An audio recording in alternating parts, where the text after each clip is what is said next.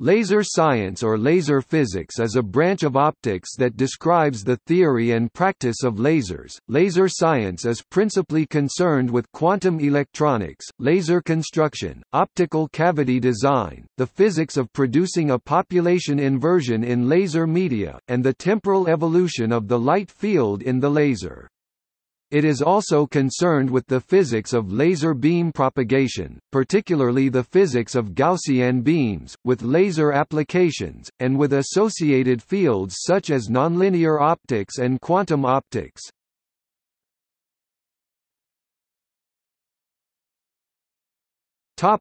History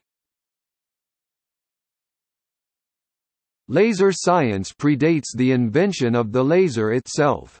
Albert Einstein created the foundations for the laser and maser in 1917, via a paper in which he re-derived Max Planck's law of radiation using a formalism based on probability coefficients Einstein coefficients for the absorption, spontaneous emission, and stimulated emission of electromagnetic radiation.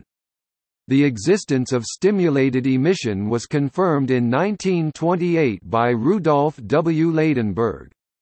In 1939, Valentin A. Fabrikant made the earliest laser proposal. He specified the conditions required for light amplification using stimulated emission. In 1947, Willis E. Lamb and R. C. Retherford found apparent stimulated emission in hydrogen spectra and effected the first demonstration of stimulated emission. In 1950, Alfred Kastler, Nobel Prize for Physics 1966, proposed the method of optical pumping, experimentally confirmed two years later by Brossel, Kastler, and Winter. The theoretical principles describing the operation of a microwave laser, a maser were first described by Nikolai Basov and Alexander Prokhorov at the All-Union Conference on Radio Spectroscopy in May 1952.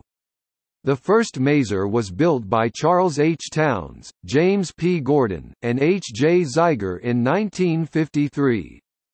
Townes, Basov and Prokhorov were awarded the Nobel Prize in Physics in 1964 for their research in the field of stimulated emission.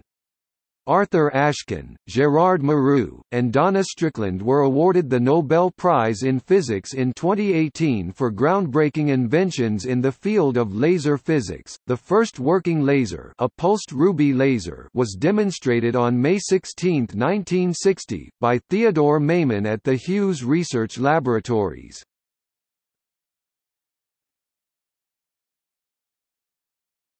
Topic: See also